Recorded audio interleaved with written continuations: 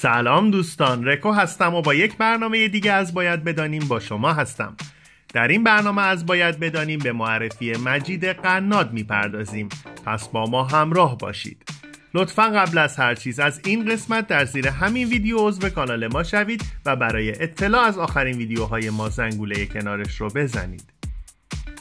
مجید قناد متولد 5 تیر 1333 در خرمشهر مجری کودک است.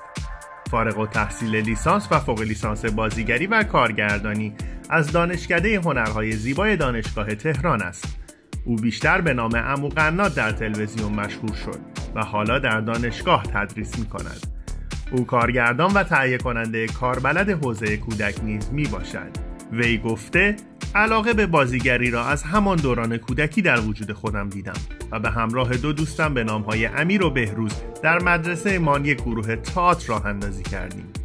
بعد به خانه جوانان رفتم و آنجا در کنار مرحوم شکوهی مشغول به فعالیت شدم.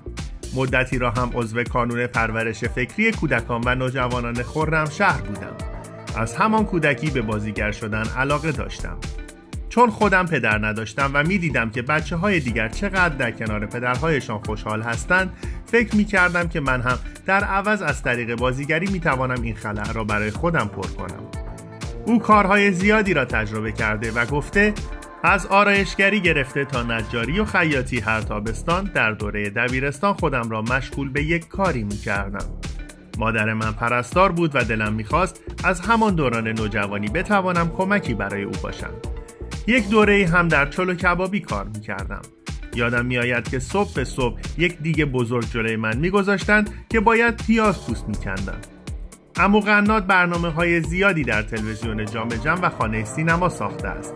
فعالیت های سینمایی از جمله شهر در دست بچه ها و همه دختران من به عنوان بازیگر ایفای نقش کرده است.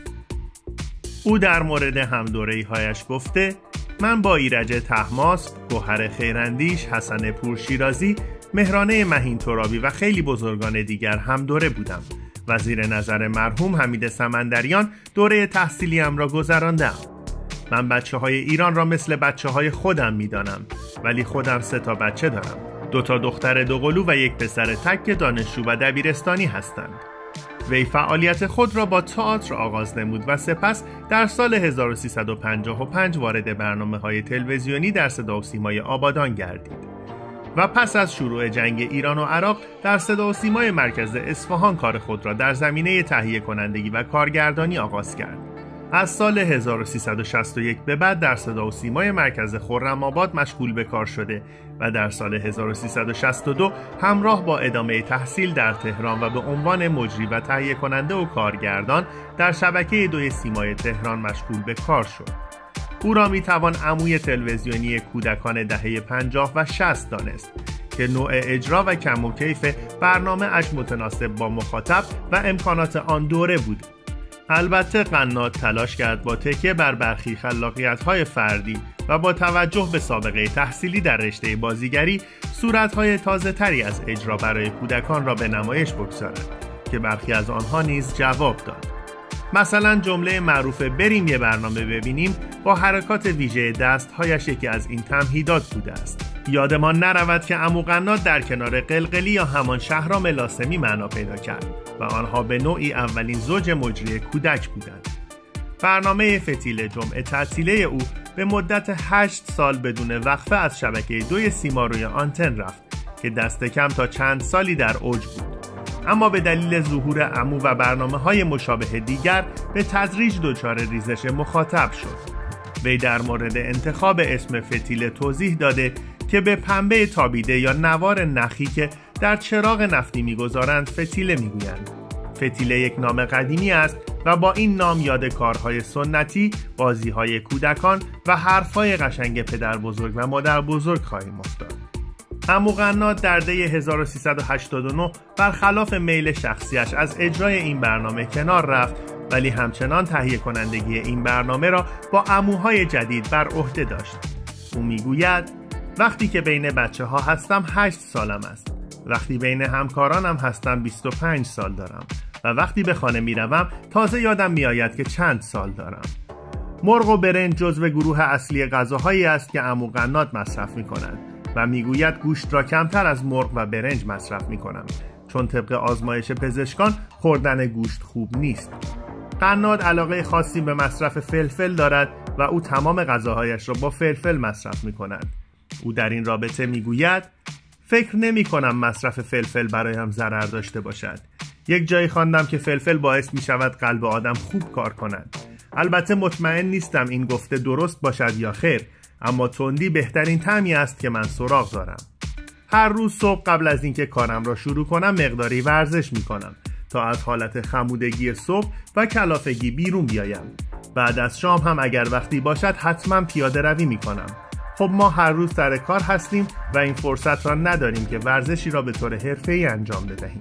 بازی کردن را خیلی دوست دارم و شاید تعجب کنید که من هنوز هم با بچه ها بازی می کنم سعی می کنم بازی جدید را یاد بگیرم و به آنها آموزش دهم.